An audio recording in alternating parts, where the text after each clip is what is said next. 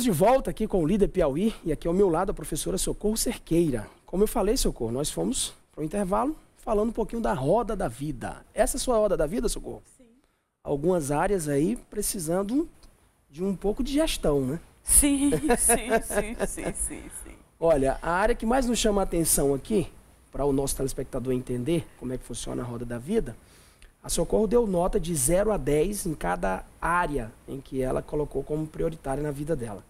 E essas notas em que ela deu em cada área nos consegue mostrar onde pode ser melhorado, onde Sim. deve ser melhorado urgentemente e outras Sim. que pode servir como área de alavancagem, né? Aquela área que vai te dar mais prazer.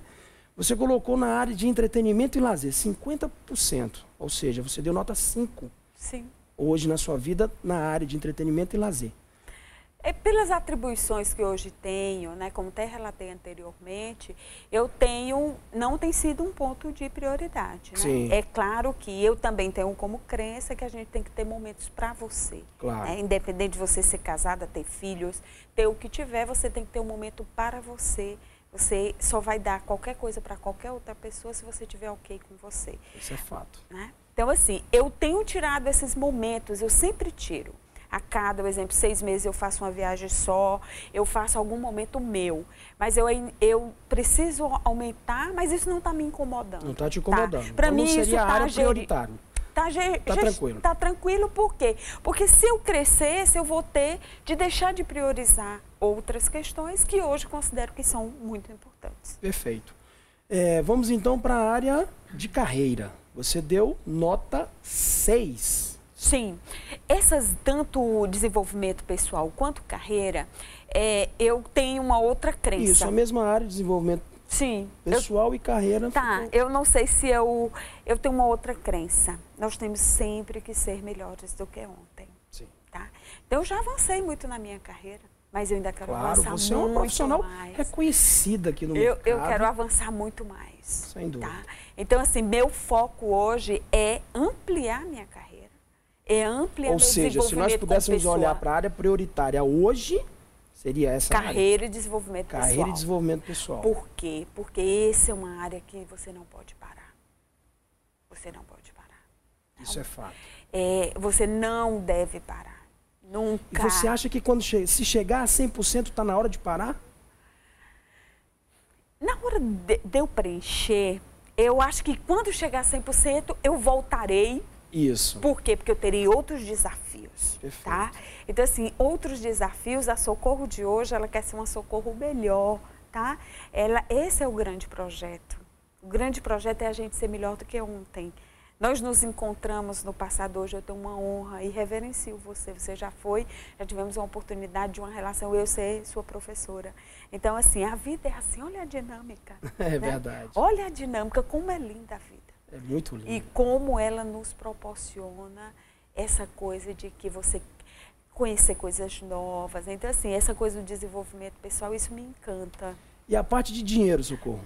Sim, eu, a parte de dinheiro, ela ainda... É sempre uma área... que eu quero trabalhar. Todos nós precisamos fazer alguma gestão para melhorar Sim, ainda mais, né? que é uma coisa que a gente, eu, até que pela nossa formação, a, a, a nossa cultura, Hoje eu já tenho um olhar diferente que eu tinha do dinheiro. O dinheiro é importante.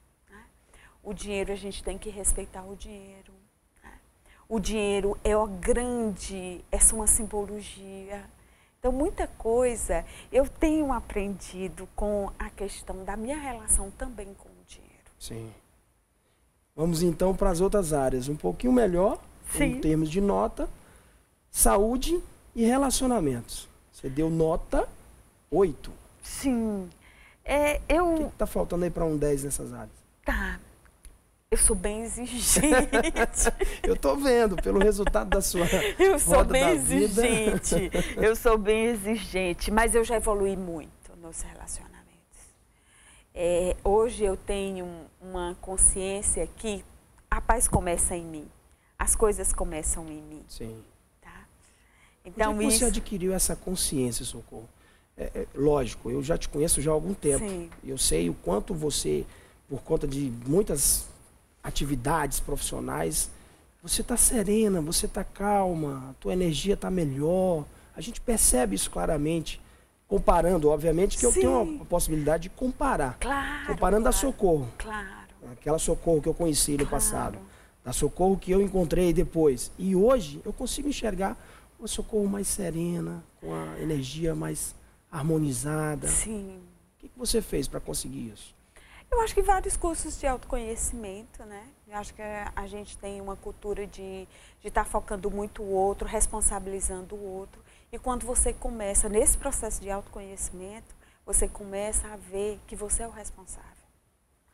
Você é o responsável. Trazer para si essa responsabilidade. Você pode ver, independente da sua religião, você pode ver nas N religiões, mas Cristo, pegando Cristo, ele fala amar aos outros como você se ama. Você Sim. só pode dar qualquer coisa para as outras pessoas se você der para você. Né? Então, assim, os relacionamentos, eu acho que a gente aprende muito com as pessoas. Eu, como líder, tenho um, do passado, né? E o que, é que eu achava? Eu gostava de pessoas que pareciam muito comigo. Hoje eu já não tenho mais essa crença. Eu quero pessoas que pensem. Os que pensam parecido comigo, valores têm que ser parecidos. Sim. É tipo como casamento. Casamento, você pode ter gostos diferentes, pensamentos diferentes, é, mas os valores, aquele projeto tem que estar em harmonia. Tem que ser um congruente um com o outro. Isso, tem que ser congruente. Então, assim, no, no processo de liderar pessoas, de coordenar pessoas, hoje eu já tenho um outro olhar. Eu preciso de pessoas diferentes para poder me agregar valor. Por quê? Porque eles têm um olhar, uma leitura da realidade diferente da minha. Sim. E eles podem me agregar valor. Acaba então, assim, contribuindo isso. mais então, ainda. quando eu passei a respeitar, a, a, a, compreender isso e a respeitar que existem outros olhares, que essa mesa nunca deixará de ser essa mesa, mas cada um pode olhar diferente para essa mesa. Isso vem com, com a maturidade, com o tempo, com a idade? Como é que você... Eu, leituras. Leitura estudo, cursos, né? Eu fiz um curso com você, eu fiz vários cursos de autoconhecimento, mas o seu curso me agregou algo. O DL. Isso, o DL me agregou. E muitos outros cursos que eu já fiz de Sim. autoconhecimento que tem me agregado. Eu me lembro que eu fiz um curso, por quê? Porque o curso, ele às vezes uma palavra paga o curso. Eu já fiz várias pós, mas às vezes uma disciplina paga já, já consegue ali, ter um investi retorno do investimento feito. Investimento. E as pessoas são muito imediatistas, elas querem soluções mágicas, né? E não há. Não, não é possível. Não Por falar em soluções mágicas, vamos lá. Espiritualidade e família, nota 9. Sim. Ah, eu, sou, eu, eu acho que toda a força para todas as adversidades que eu já enfrentei, que todos nós enfrentamos, e isso faz parte. Né? Agora mesmo, o momento do Brasil, as pessoas não podem deixar de ter esperança.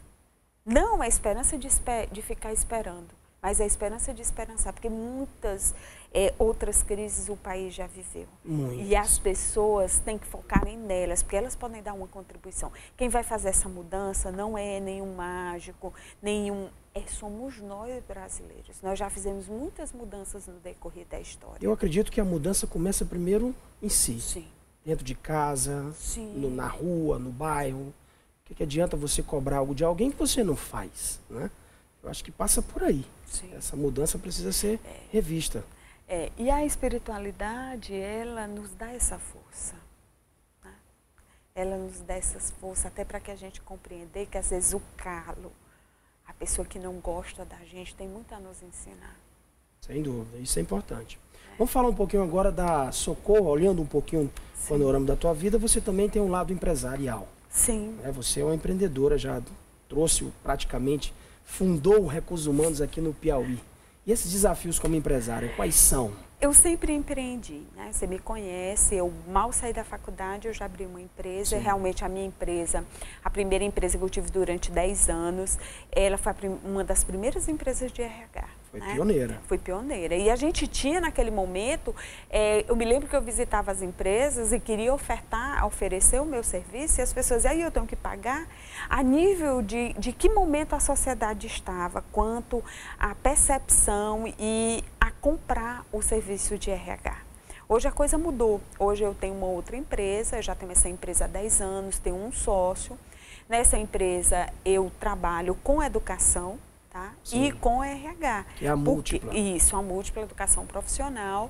A gente trabalha por quê? Porque eu observei na minha vivência na área de RH que não tem como estar separado de educação e de desenvolvimento. Sim. Então, assim, gosto de trabalhar com, com gestão de pessoas, gosto de ser empreendedora, isso me motiva, me dá satisfação, a questão do desafio, do novo.